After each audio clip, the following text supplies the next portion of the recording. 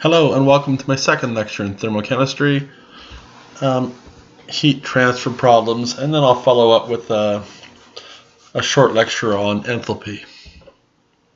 And again, here are the knowledge outcomes prescribed by the province of Alberta. Um, I'm going to add these to every video so you, you can check your progress in terms of exam preparation. Heat transfer. As we said, we start the quantitative analysis in thermochemistry by examining the, the surroundings of a chemical system. And we refer to this kind of work as heat transfer problems. We know from past work that water has what's called a specific heat capacity of 4.19 joules per gram degree Celsius. This means that it takes 4.19 joules of energy to raise the temperature of 1 gram of water by 1 degree Celsius. Various materials, of course, have very different heat capacities, and we'll be dealing with materials such as ice, aluminum, styrofoam, those sorts of things, glass. And we'll see in each case there's a different specific heat capacity for each. We use this value to determine energy change of the surroundings of a chemical system from observed changes in their temperature. And the general formula for this work is Q equals mc delta T where Q is the thermal energy absorbed or released by the surroundings in joules, M is the mass of those surroundings, C is the specific heat capacity for those surroundings, and delta T is the change in temperature for those surroundings. And you'll see there's a slightly different way of expressing the equation. Instead of delta T, we use a T final minus T initial. Questions in this area can vary. They can be straightforward or more complex. I'm going to start with a straightforward one. Here we have 50.0 grams of water at 20.5 degrees Celsius and we heat it to 80.0 degrees Celsius over a candle. They want us to determine Q. And I'm going to show you an approach that I would like you to adopt simply because it's the most straightforward, but, it, but it's a thorough analysis at the same time. So we start with our equation. And in this case, you'll see I'm using TF minus TI. And I'm doing that simply because the question gives us a TI and a TF. We substitute into the equation. There's our mass, there's our specific heat capacity, and there's our TF minus TI. And we come up with a raw value at 12,465.25 joules. If we analyze for significant digits, you'll see the question has three throughout. And we're dealing with a mixed problem, multiplying and, and subtracting. Uh, we're therefore obligated to follow the multiplication rule, which requires us to use 3 sig digs. Our final answer is 1.25 times 10 to the 4 joules, therefore. In English, we would say the thermal energy of the water increases by 1.25 times 10 to the 4 joules. Here's a tougher example where the surrounding water doesn't go through an energy increase, but it loses energy. And we see that because the temperature drops from 100 degrees Celsius to 86.0 degrees Celsius. Same approach though, start with our equation, substitute into the equation, come up with a raw value, 2141.09 joules. And you'll see that we have a negative value, and this is consistent with the loss of energy of the surroundings. Applying sig digs, the obligation is to use 3, judging from the question, Therefore, Q is minus 2.14 times 10 to the 3 joules. In English, the water loses 2.14 times 10 to the 3 joules of energy as it cools. Here we have a slightly different example where the surroundings are made of ice rather than water. And that'll give rise to a different specific heat capacity value as we'll see.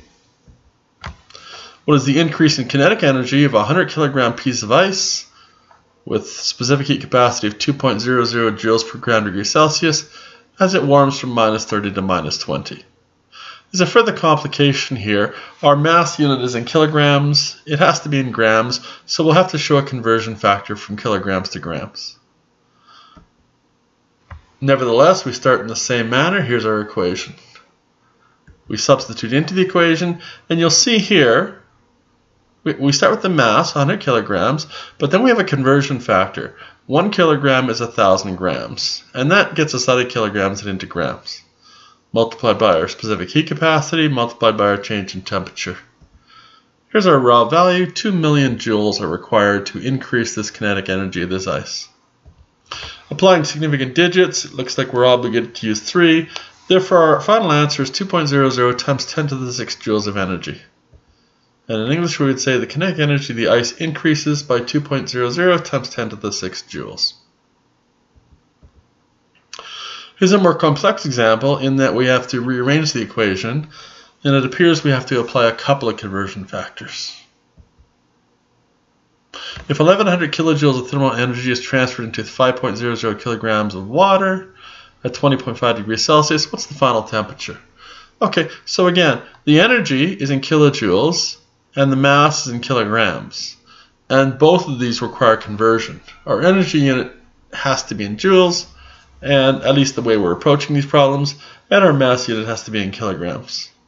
So we'll start the same way. Here's our equation, and now we've got a further step. We have to rearrange the equation to isolate for the unknown, to isolate for what we're searching for. And what we're searching for here is TF, the final temperature. The rearranged equation is going to look like this. Q over MC plus Ti.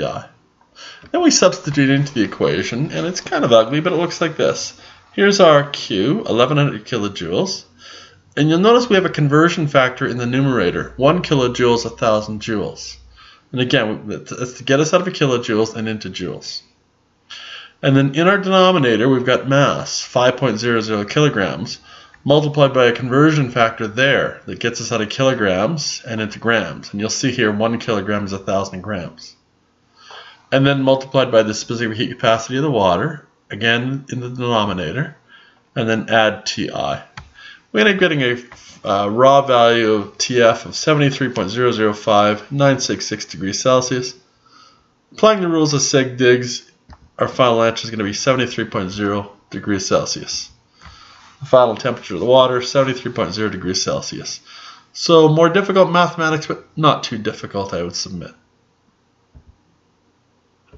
Here's a similar question, however, I think we've gone away from water and we're dealing with methanol. The final temperature of 10.0 grams of methanol if 250.0 joules of energy are transferred into it, if the initial temperature is 20.0 degrees Celsius. And you'll see we're given the, the specific heat capacity of methanol at 2.918 joules per gram degree Celsius, so significantly lower than for water. Our approach, however, is the same. We write our equation, we rearrange, and we substitute into the equation. You'll see since the energy term, Q, is in joules, we don't need a conversion factor there. However, the mass unit for the methanol, no, there's no conversion factor top or bottom. The only, the only real tweak here is that we've got a different specific heat capacity, 2.918 joules per gram degree Celsius. We come up with a raw value at 28.567 dot dot dot degrees Celsius, and applying significant digits, we get uh, 28.6 degrees Celsius for our final temperature. The final temperature of the methanol is 28.6 degrees Celsius. Um, we're going to go on now and look at enthalpy change. And, and I want to pause here because this is the central piece of the unit. We've talked about how the surroundings gain or lose energy. The question becomes, where does that energy come from? If the surrounding water warms up, that energy must come from the chemical system. The chemical system must be losing that energy. And more important for the purposes of the mathematics, the, the amount of energy that the surrounding water gains must equal the amount of energy lost by the chemical systems. And uh, that, that's central to the unit. So we're going to focus on that energy change of the, of the, of the chemical system arising from our calculation of the, uh, the energy change for the surroundings. And, and here we say it more technically. The thermal energy gain of the surrounding water is equal and opposite to the potential energy loss of the chemical system. And equally importantly, it comes from the system.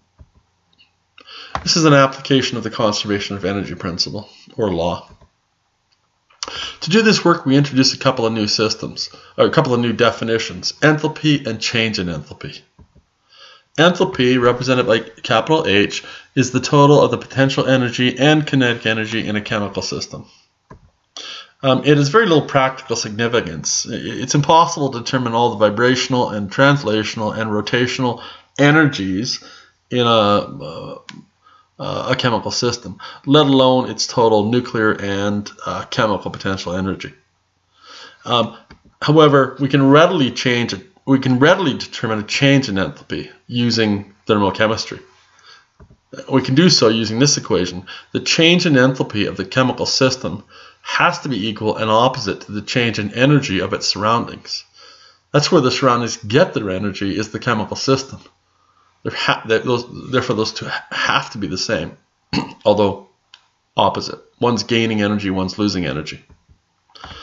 Uh, and to state it more technically then, the change in enthalpy of the chemical system is equal and opposite to the energy gain or loss of the surroundings.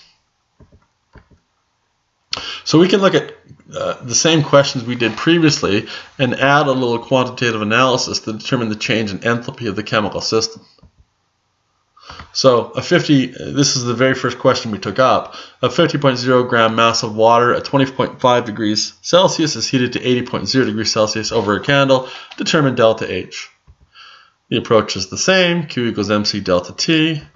Substitute into the equation and come up with a raw value and then apply sig digs. Well, what do we know? We know that the change in enthalpy of the chemical system is equal and opposite to the change in energy of the surrounding water. Therefore, delta H is negative 1.25 times 10 to the 4 joules. In English, we would say that the enthalpy change for the candle is negative 1.25 times 10 to the 4 joules. The candle loses 1.25 times 10 to the 4 joules of energy heating that water.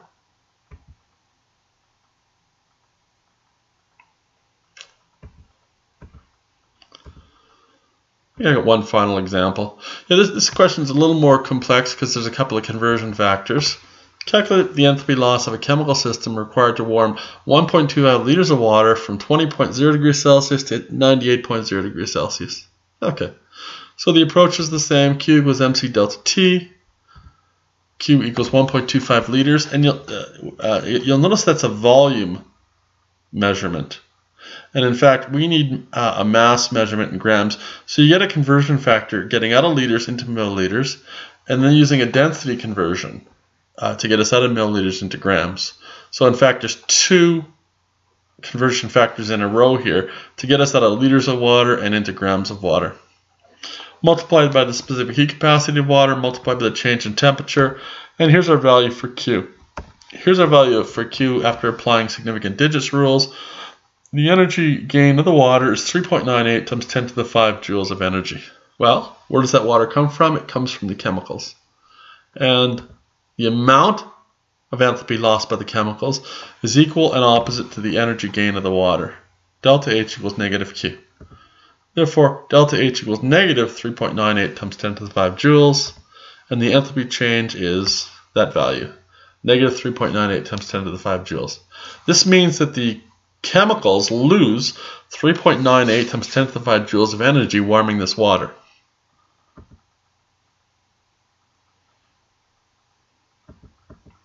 One final question. A student finds a burning candle raises the temperature of 200.0 mils of water from 21.0 to 29.0 degrees Celsius and determine the enthalpy released by the candle. Well, this should be coming uh, sort of old hat for you. Q equals mc delta T, substitute in. You'll see uh, we're given water in a volume in milliliters, so we need one conversion factor, getting us on milliliters into grams. And then multiply by our specific heat capacity of water, by our change in temperature, and we get a Q value at 6704 joules. Applying sig digs, uh, the question requires us to use 3, 6.70 times 10 to 3 joules. That energy comes from the enthalpy lost the, the candle. It's equal and opposite there too, so delta H equals negative Q. And the enthalpy change of the candle is negative 6.70 times 10 to the 3 joules. Um, and I have an asterisk here. You'll note that in this question and in a couple of other questions, in the English translation, we use the word loses. So the word loses implies the negative sign. So you'll see when I write the answer out in English, I don't use the word loses and the negative sign together. That would be redundant. So it's enough to say the candle loses 6.70 times 10 to the 3 joules of enthalpy when heating the water. So that concludes my lecture on both uh, heat transfer and, and enthalpy change uh, calculations. I'd refer you to any homework your teacher assigns. I'll see you next time when I talk about calorimetry and about molar enthalpy change. Thank you.